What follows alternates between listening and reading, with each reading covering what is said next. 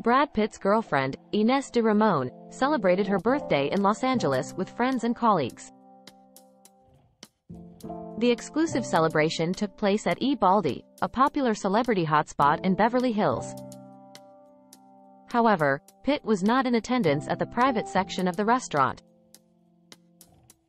Despite his absence, de Ramon looked happy as she arrived at the Italian eatery carrying a bouquet of pink and white lilies and gifts in a Neiman Marcus shopping bag.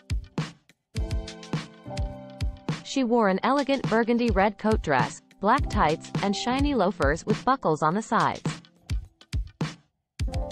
De Ramon completed her look with a fresh blowout, two handbags, and a delicate silver necklace. The birthday celebration came just one day after Pitt's 60th birthday, which he celebrated in Los Angeles.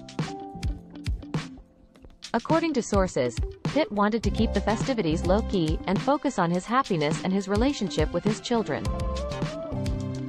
He is said to be in a good place and has been repairing his relationship with his kids.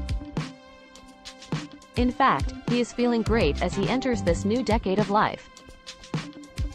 Pitt and de Ramon have been dating for over a year, and they recently made their relationship public.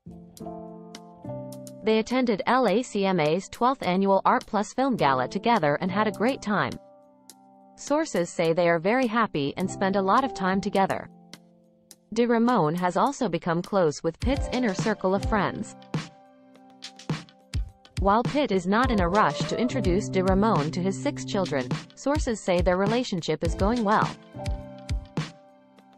Pitt wants to ensure that their relationship is going the distance before taking that major step.